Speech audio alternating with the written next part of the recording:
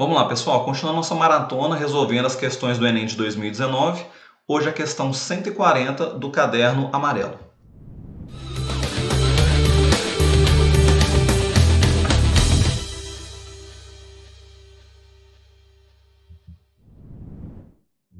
Então vem comigo. Nessa questão aqui, ele está nos pedindo o seguinte.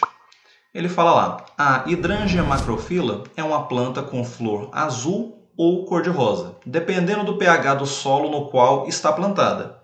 Em solo ácido, ou seja, com pH menor do que 7, a flor é azul. Então, com pH menor do que 7, a gente vai ter uma flor azul. Enquanto que em solo alcalino, ou seja, com pH maior do que 7, a gente vai ter uma flor cor-de-rosa, uma flor rosa. E ele nos disse o seguinte: Considere que a hidrângea cor-de-rosa mais valorizada comercialmente numa determinada região seja aquela produzida em solo com pH inferior a 8. Sabe-se que o pH é dado por menos log de x na base 10. Então, meu exercício provavelmente eu vou ter que mexer com logaritmo, mas sem espanto. Vamos lá. Em que x é a concentração de íon hidrogênio, o nosso H+. Para produzir a hidrângea cor-de-rosa de maior valor comercial, deve-se preparar o solo de modo que X assuma qual valor. Então tá, eu quero vender a cor-de-rosa com maior valor comercial, que ele nos diz que é com pH inferior a 8. Só que a gente tem que tomar o seguinte cuidado, pessoal. Por quê? Tem que ser inferior a 8? Sim, só que também não pode ser inferior a 7. Porque se for inferior a 7, ela já não é mais rosa, ela seria azul, certo? Então, esse nosso pH ele tem que estar tá tendo essa oscilação. O pH ele vai oscilar entre 7 e 8. E esse pH é dado por menos log de x na base 10. Beleza. Para esse log nosso ficar positivo, eu vou multiplicar toda essa desigualdade, as duas igualdades, eu vou multiplicar por menos 1. Então, vou multiplicar esses valores por menos 1. Quando eu multiplico por menos 1, lembra que ou eu posso inverter as igualdades para maior, ou eu posso inverter a ordem dos meus valores.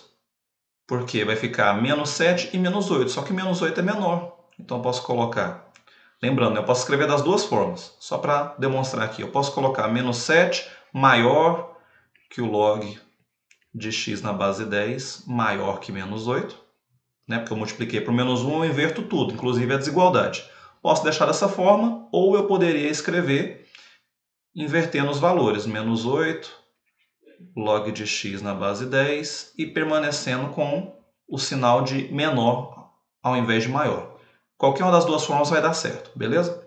Como eu já escrevi ali na coloração que a gente está resolvendo, eu vou deixar desse jeito, invertendo todos.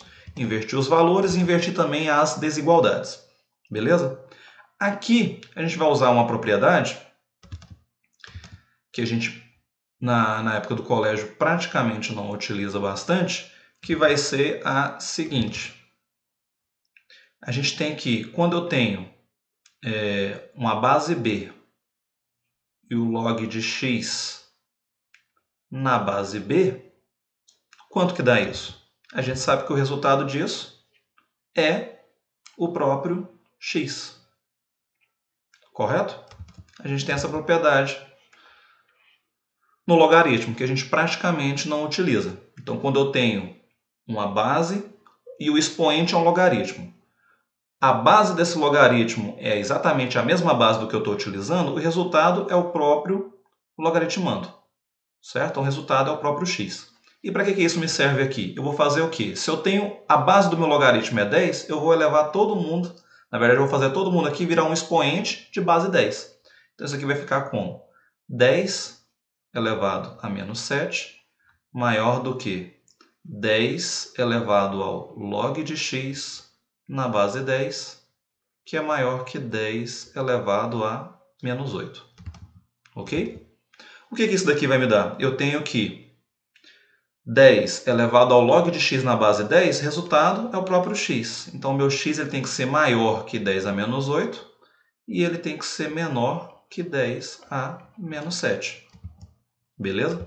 Então, meu x ele tem que assumir um valor maior que 10 a menos 8, valores maiores que 10 a menos 8 e valores menores que 10 a menos 7. Então aqui a gente mata com a letra E de eu dei conta. Lembrando que nós estamos resolvendo o caderno amarelo do Enem de 2019. Tá? Confere tanto as alternativas como o número da questão de acordo com a cor do caderno que você está resolvendo.